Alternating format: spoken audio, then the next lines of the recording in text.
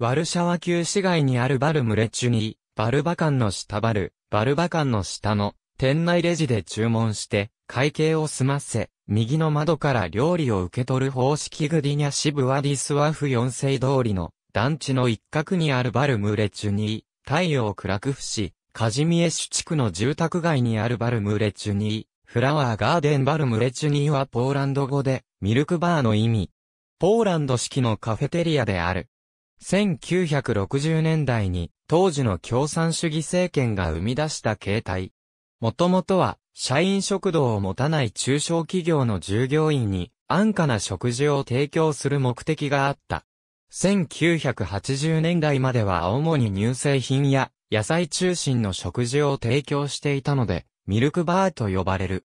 特に、戒厳令が布告されていた1980年代初頭は、肉は配給制だったので、乳製品主体の食事が主流であった。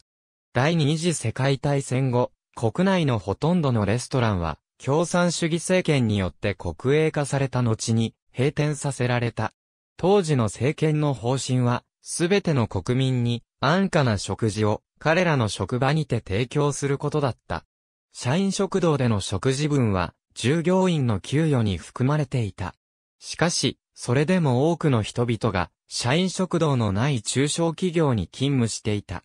そのため、ブワディスワフゴムーカ政権の時代に、政府は、セルフサービス式の小規模な大衆食堂を全国に設置することにした。食事には、政府から補助金が当てられたため、安価で、しかも、誰でも利用することができた。ジェロナグラッシのバルムレチュニー、ピアストのメニュー表スープが12種類、肉料理が12種類、肉料理の付け合わせが7種類。その他、ピエロギ、副菜、サラダ、ソフトドリンク、パン、デザートなどが書かれている。バルムレチュニーでは、生の牛乳や乳製品の他に、オムレツや卵カツのような卵料理、シリアル、ピエロギなど、小麦粉ベースの料理も提供される。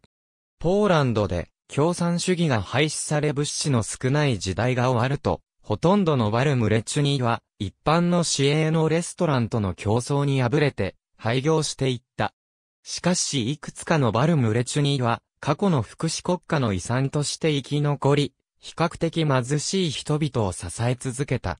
今日ポーランドの都市の中心街には、最低一軒のバルムレチュニーが設置されている。これらのバルムレチュニーは国から補助金を受けている。また、大抵の場合は、自治体からも補助金を受けている。バルムレチュニーは今でも、年金生活の年配の人々、ホームレスの人々、バックパッカーなどといった若い外国人旅行者、学生、そして大学教授の間で特に人気がある。普通の人々も日々の外食で、ファストフードに飽きると、バルムレチュニーを気軽に利用している。日本で言えば、街の暗食堂や中華料理屋さんのような感覚である。アルコールを提供することは、ほとんどない。補助金のおかげで、一般のバーやレストランと比較してバルムレチュニーの提供する食事は、非常に安価である。バルムレチュニーでの典型的なディナーは3つのプレートにデザートがついたコース料理であるが、価格は10ズオティを超えることはない。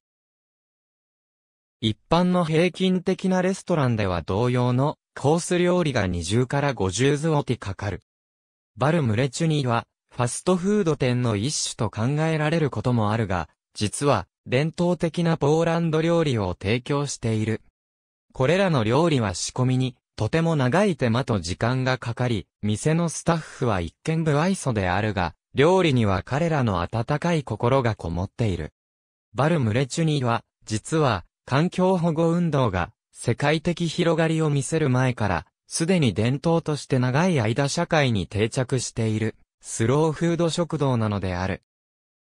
1989年に共産主義が廃止されて、ポーランドが資本主義社会になると、ポーランド人は一時は、バルムレチュニーの存在を恥ずかしがっていたこともあるが、現在は、バルムレチュニーを、ポーランドの誇るべき、温かい心の文化として捉えている。バルムレチュニーは、ポーランド国内の他にも、カナダ・オンタリオ州のミッサガ市、ラトビアのリガ市、イギリスのロンドンに、それぞれ1件ずつある。ありがとうございます。